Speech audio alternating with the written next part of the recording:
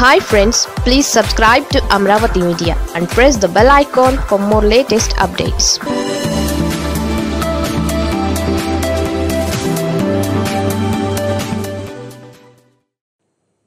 బాలయ్యది రాజకీయ వైరాగ్యమేనా? రాజకీయాలు అంటేనే ఒక వ్యసనం. అక్కడ బోర్ కొట్టే సీను ఉండదు.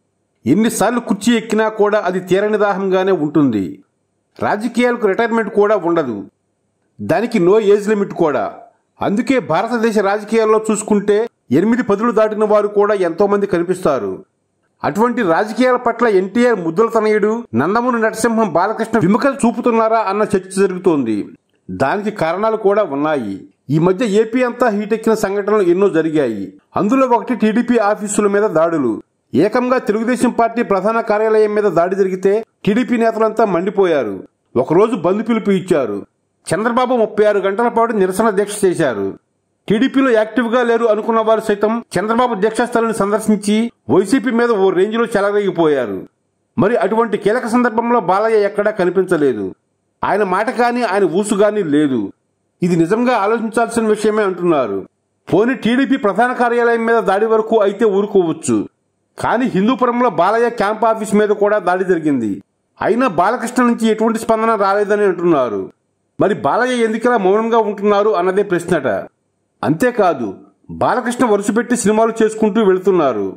మరోవైపు ఆహా ఓటీటీ కోసం స్పెషల్ షో చేస్తున్నారు. ఏపీలో టీడీపీ విపక్షంలో ఉంది. పార్టీ అధినేత చంద్రబాబు కాళ్ళకు బలపం కట్టుకుని తిరుగుతున్నారు. ఆయన ఏడు పదుల వయసులో కష్టపడుతుంటే తలోచేయి వేయాల్సిన బాధ్యత అందరి మీద ఉంది. మరి బాలకృష్ణ మాత్రం తన సినిమాలు తాను అన్నట్లుగానే ఉంటున్నారు. లేటెస్ట్గా ఆయన ఆహార టాక్ షోతో హోస్ట్గా సరికొత్త అవతారం ఎత్తారు కూడా. ఈ నేపథ్యంలో బాలయ్య వైఖరి మీద అనేక డౌట్లు వస్తున్నాయని అంటున్నారు. అయితే బాలయ్య వర్తమాన రాజకీయాల పట్ల ఆసక్తిగా లేరు అన్న ప్రచారం కూడా సాగుతోందని అంటున్నారు. అదే టైంలో టీడీపీలో అల్లుడు నారా లోకేష్ బావ చంద్రబాబు తప్ప బాలయ్యకు పెద్దగా ప్రాధాన్యత ఉండడం లేదు అంటున్నారు. రెండు వేల పద్నాలుగులో పార్టీ గెలిచినప్పుడే బాలయ్య జస్ట్ ఎమ్మెల్యేగానే ఐదేళ్ళు కొనసాగారు. ఇక రెండు వేల ఇరవై నాలుగులో మరోసారి అధికారంలోకి వస్తే మంత్రి అవుతారు అన్న గ్యారంటీ ఏమీ లేదు. ఎందుకంటే చంద్రబాబు లోకేష్లకు ఖచ్చితంగా పదవులు ఉంటాయి.